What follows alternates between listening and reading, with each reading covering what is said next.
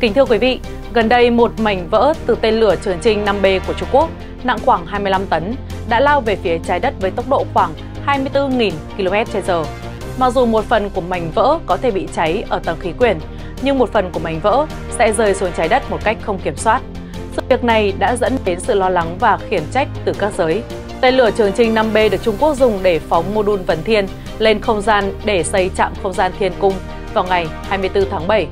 Hôm nay, Decaner News sẽ gửi tới quý vị bài phân tích bình luận từ góc nhìn của các chuyên gia hàng không trên thế giới đối với sự kiện mảnh vỡ của tên lửa Trường Trinh 5B của Trung Quốc mất khống chế và rơi xuống trái đất. Mời quý vị cùng theo dõi.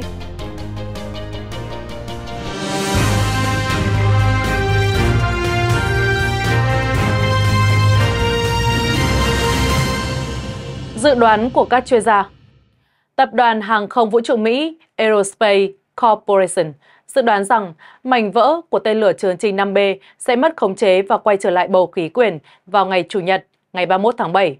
Các khu vực mà mảnh vỡ tên lửa có thể rơi xuống bao gồm phần lớn nước Mỹ, châu Phi, Australia, Brazil, Ấn Độ và Đông Nam Á. Trong khi đó, Cơ quan Hàng không Vũ trụ của Trung Quốc thông báo phần còn lại của tên lửa quay lại trái đất trên bầu trời khu vực phía tây nam Philippines và phần lớn các mảnh vỡ bị cháy khi quay lại bầu khí quyển. Tờ báo The Guardian đưa tin Jonathan McDowell, một nhà vật lý thiên văn tại Trung tâm Vật lý Thiên văn Harvard Smithsonian CFA, cho biết, vài tiếng sau khi nó quay trở lại bầu khí quyển, chúng tôi sẽ biết nó ở đâu. Ông Sean Goldbrow, một chuyên gia theo dõi không gian có trụ sở tại Anh và là giám đốc không gian và an ninh phương Bắc, đã nói với đài BBC rằng tên lửa Trường Trinh 5B được phóng cách đây vài ngày vẫn chưa có kế hoạch thử nghiệm lại, như trường hợp các lần phóng trước của tên lửa. Ông Goldbrown cho rằng việc thiếu thông tin liên lạc cùng với kết quả không thể đoán trước của hai vụ phóng đầu tiên là nguyên nhân chính khiến mọi người gây lo ngại.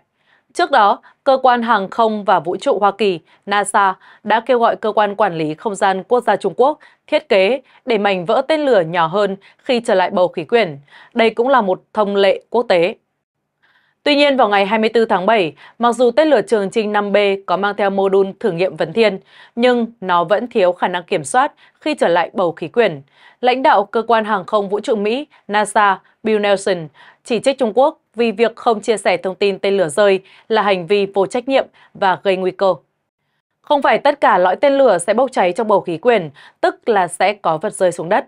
Trung tâm nghiên cứu mảnh vỡ và quay lại quỹ đạo của tập đoàn hàng không vũ trụ cho hay quy tắc chung là khoảng 20 đến 40% khối lượng của lõi tên lửa sẽ chạm tới mặt đất.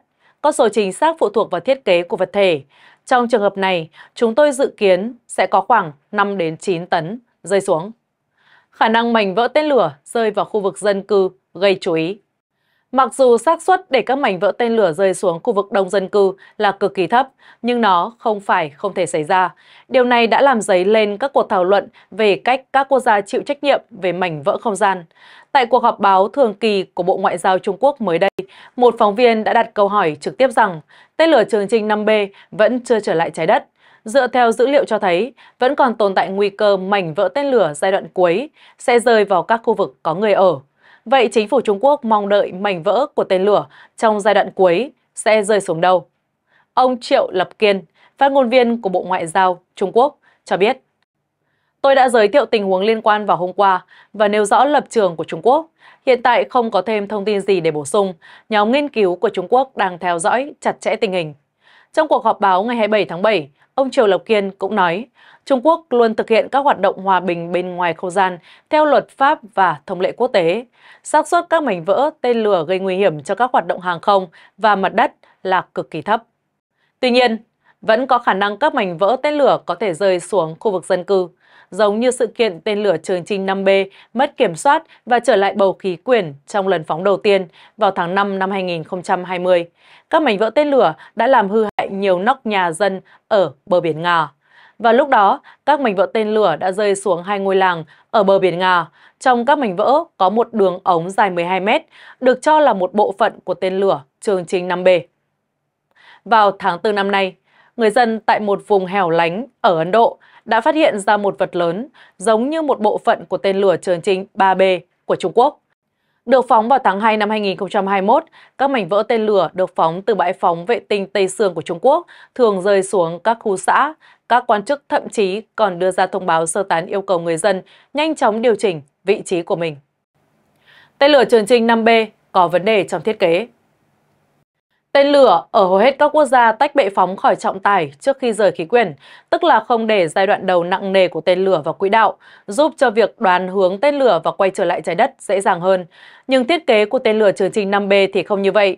Tên lửa đã đi vào quỹ đạo ngay từ giai đoạn đầu. Điều đó khiến cho việc dự đoán quỹ đạo của mảnh vỡ, máy bay khó khăn hơn. Theo báo cáo của hãng truyền thông Deutsche Welle của Đức, nhiều chuyên gia hàng không vũ trụ đã chỉ ra rằng việc tên lửa Trường trình 5B mất kiểm soát và trở lại bầu khí quyển là một thiết kế có vấn đề. Nhà vật lý thiên văn Andrew John vào năm 2021 cho biết mảnh vỡ giai đoạn đầu của tên lửa Trường trình 5B nặng hơn 20 tấn sẽ bay quanh trái đất với tốc độ khoảng 90 phút một vòng, nhưng không thể dự đoán khi nào nó quay trở lại bầu khí quyển. Kịch bản có thể xảy ra nhất là các mảnh vỡ nóng chảy ở nhiệt độ cao được tạo ra trong quá trình trở lại bầu khí quyển hoặc các khu vực không có người ở. Ngoài ra, còn có rủi ro thiệt hại về người hoặc tài sản.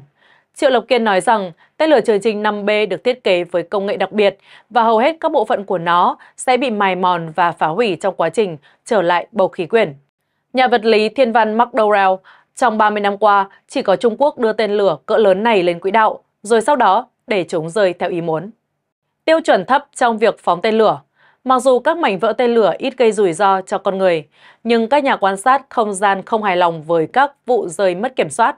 Các chuyên gia cho rằng ảnh hưởng của nó tương tự như các vụ tai nạn máy bay nhỏ và có lẽ ít gây chết người hơn nhiều so với các vụ tấn công và tai nạn tên lửa xảy ra hàng ngày ở những nơi khác. Nhưng rủi ro này có thể được giảm thiểu.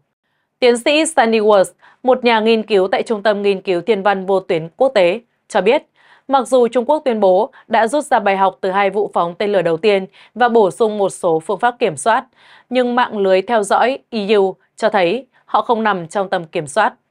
Sau lần phóng thứ hai của tên lửa Trường Trinh 5B vào năm 2021, nó đã bay không kiểm soát trong hơn một tuần, dẫn đến sự lo lắng của các giới. Cuối cùng, các mảnh vỡ tên lửa đã rơi xuống khu vực Ấn Độ Dương gần quần đảo Maldives. Vào thời điểm đó, Tổng Giám đốc của NASA, ông Bill Nelson, cho biết rõ ràng Trung Quốc đã không thể đáp ứng các tiêu chuẩn trách nhiệm liên quan đến mảnh vụn không gian của họ. Ông Nelson nói thêm, các quốc gia tham gia vào các hoạt động ngoài không gian phải giảm thiểu rủi ro đối với con người và tài sản khi các vật thể không gian trở lại khí quyển, đồng thời tối đa hóa tính minh bạch về các hoạt động này. Dù các mảnh vỡ tên lửa có gây thiệt hại cho con người hay không, nhưng việc chương trình không gian của Trung Quốc để lặp lại tình huống này là điều không thể hiểu được. Nhắc đến kế hoạch phóng tên lửa của Trung Quốc, có khả năng sẽ xuất hiện thêm nhiều tên lửa trở lại bầu khí quyển ngoài tầm kiểm soát trong những năm tới đây. Đây sẽ là tiếp tục những điều khiến người dân trên thế giới trở nên lo ngại. Và đến đây, mục tin phân tích và bình luận của chúng tôi xin phép được tạm dừng. Quý vị có thể để lại bình luận để giúp chúng tôi cải thiện chất lượng trong những bản tin tiếp theo. Mai Anh xin kính chào và hẹn gặp lại.